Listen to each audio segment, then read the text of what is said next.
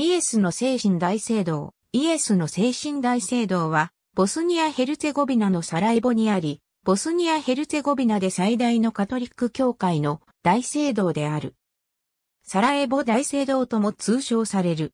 カトリック教会のブルフボスナ大司教座の大聖堂である。1994年11月26日からビンコプリッチが大主教となっている。大聖堂はサラエボのスタリグラードにあり、町のカトリック信仰の中心となっている。イエスの精神大聖堂は、イエスの精神を称えて建てられた。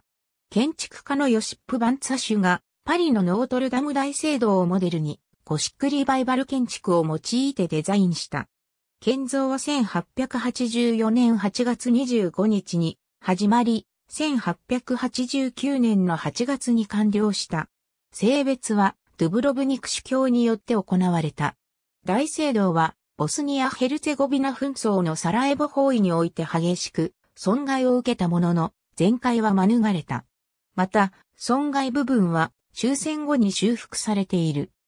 大聖堂は、サラエボの象徴として用いられ、入り口の上の窓のデザインは、サラエボ県の県旗と県章にロマネスク風の2本の塔は、サラエボの四季と師匠に表されている。ありがとうございます。